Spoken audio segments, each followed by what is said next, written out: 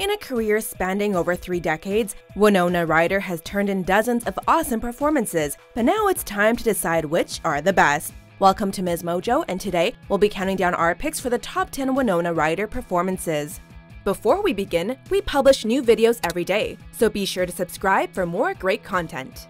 For this list, we'll be counting down the best film and TV performances to date in this actress's career. Maybe your life works for you, but it doesn't work for me! Number 10, Abigail Williams, The Crucible. Never touched. Hi. But we did. Set during the height of the infamous Salem witch trials, Abigail Williams dabbles with witchcraft while trying to win back her married ex lover. While the film may not have been a box office success, much praise was heaped upon the cast for their strong performances. My name is good in the village. Elizabeth Proctor's an envious, gossiping liar! As Williams, Ryder is magnetic, pushing and pulling at the emotions of the other characters as she delves deeper into her own manipulative mind. From the opening scene, it's clear that Ryder's character will be a force to be reckoned with for the remainder of the film. I am but God's finger, John. Number 9. Elizabeth Beth McIntyre, Black Swan. He always said you were such a frigid little girl. A dark and twisted psychological film of the likes that only Darren Aronofsky is capable of. Black Swan is the story of an ambitious ballet dancer's descent into madness after being named the lead in Tchaikovsky's Swan Lake. Winona Ryder plays Beth McIntyre, the production's former prima ballerina.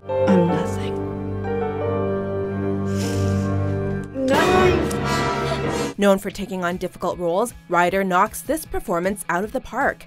While she only has a couple of scenes, one can't help but marvel at the depth of her character's shocking behavior. Thankfully, Ryder is more than capable of handling the role, delivering a strong performance that isn't soon forgotten. Nothing! Nothing! Nothing! Number 8. May Welland, The Age of Innocence. I can't have my happiness made out of a wrong to somebody else. Set in late 19th century New York and directed by one of Hollywood's most beloved directors in Martin Scorsese, The Age of Innocence was a critically acclaimed romantic drama that scored Winona Ryder her first Oscar nomination. She's been away for so long, she's rather sensitive. The film takes place during America's Gilded Age, a time of extreme decadence, and tells the story of Newland Archer, a newly engaged man who finds himself falling in love with another woman. Ryder plays Archer's fiancée, May Welland, and is spectacular in the role. Shall we elope? if you would, why not? Working alongside Hollywood heavyweights Daniel Day Lewis and Michelle Pfeiffer, Ryder easily holds her own, proving once again what a talented actress she is. You can find a way to spend your afternoon, can't you? Number 7. Josephine Jo March, Little Women. You can't even propose without quarreling. Set in the period of the American Civil War, Little Women is based on the classic piece of literature of the same name.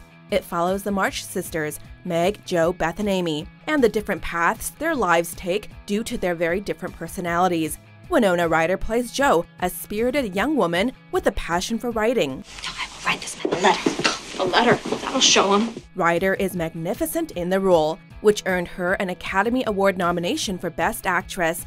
Jo March is the heart and soul of the film, and Ryder does an excellent job of bringing the character to life in a positive and believable way. I want to change, but I, I can't. And I, I just know I'll never fit in anywhere.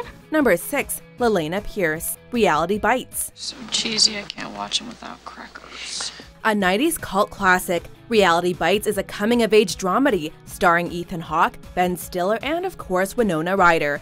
Ryder plays Lelaina, a videographer who struggles to navigate the tumultuous post college world while attempting to balance love and friendship. You better do it now, and you better do it fast because the world doesn't owe you any favors. While the film wasn't exactly a critical or commercial success, it is often considered one of the 90s most accurate depictions of the lives of Generation Xers. Ryder's performance in the film received positive reviews, with one critic calling it her greatest role since Heathers. Welcome to the world of the emotionally mature. It's a really nice place to visit. Number 5. Susanna Kaysen, Girl Interrupted. I signed myself in, I should be able to sign myself out. Girl Interrupted is the story of Susanna Kaysen, a young woman who suffers a nervous breakdown that ultimately lands her in a psychiatric hospital. While there, she befriends Lisa, a charismatic sociopath and one of the facility's most senior residents. But what if you don't have a secret? Then you're a lifer like me. The chemistry between Ryder and co star Angelina Jolie is palpable, and both young women are at the top of their game in this film. Both actresses received praise for their performances, with Jolie taking home the Oscar for the Best Actress in a Supporting Role. No one cares if you die, Lisa. Because you're dead already. A poignant tale of self discovery, Girl Interrupted is must watch material for Winona Ryder fans. Hurt yourself on the outside to try to kill the thing on the inside. Number 4. Joyce Byers, Stranger Things. Been waiting here over an hour, Hopper. The smash hit of 2016, Stranger Things is a science fiction horror series set in the fictional small town of Hawkins, Indiana. Ryder plays Joyce Byers, a distraught mother willing to do anything to find her missing 12 year old son Will. Tell me what to do. What should I do? How do I get to you? How, how do I find you? What should I do? The show is a brilliant blend of all things 80s and plays heavily on the nostalgia that exists for the decade. So guess what? I got off early and ta-da! Poltergeist.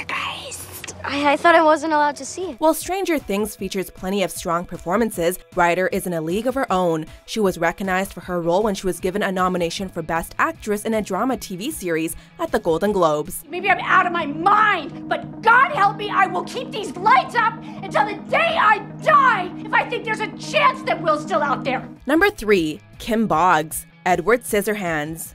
Hey, how about after dinner we go down to the bowling alley? That'd be fun. This quirky love story is one of the most beloved films of all time and is arguably director Tim Burton's crowning achievement. Edward Scissorhands is the tale of a man who, as you may have already guessed, has scissors for hands. Winona Ryder plays Kim, a teenager living in the suburbs who falls in love with Edward despite his physical flaws. They didn't hurt you, did they? A critical and commercial success, the film received numerous awards nominations, with many praising Ryder for her performance, an iconic flick that is guaranteed to tug at your heartstrings. Accepting her role in Edward Scissorhands is easily one of the best career moves Winona Ryder has ever made. Where is everybody? Out looking for you. Number 2. Lydia Deetz, Beetlejuice. I myself am strange and unusual. Another of Tim Burton's wacky creations, Beetlejuice is the unconventional story of two ghosts who decide to haunt their former home in order to scare off a family who just moved in. Things start to go awry, however, when they hire obnoxious freelance bioexorcist, Ghost Beetlejuice, to do the job for them. Ryder plays Lydia, a goth teenager who befriends her new home's deceased inhabitants. My whole life is a dark room. One big, dark room. A teenager herself when the film was released, Ryder proves more than capable of holding her own, delivering an iconic performance in one of the decade's best films. Can you guys do any tricks to prove I'm not dreaming? Before we unveil our top pick, here are a few honorable mentions. Guys, can't live with them, can't shoot them. I want to be what you are, see what you see, love what you love. She's cute, Nick. Could do a lot worse. In fact, you have done a lot worse. Number 1. Veronica Sawyer, Heathers. Dear Diary, Heather told me she teaches people real life. This is the cult classic that put her name on the map, and Winona Ryder is pure cinematic gold in the black comedy. Heather satirizes the high school experience in dramatic fashion, focusing on a quintessential high school clique and the rebellious new kid in town who decides to kill them all. My Life is filthy. What do you think I'm gonna do with it? Take out her tonsils? It sounds bleak, but it's actually one of the funniest movies you'll ever see, made even better by Ryder's darkly subversive performance and deadpan delivery. If you were happy every day of your life, you wouldn't be a human being, you'd be a game show host. A box office failure, the film is now considered one of the best films of the 80s, and in 2017 came in at number 412 on Empire's list of the 500 greatest movies of all time. You a Heather? No, I'm a Veronica. Sawyer. Do you agree with our picks? Check out these other great clips from Ms. Mojo and subscribe for new videos every day.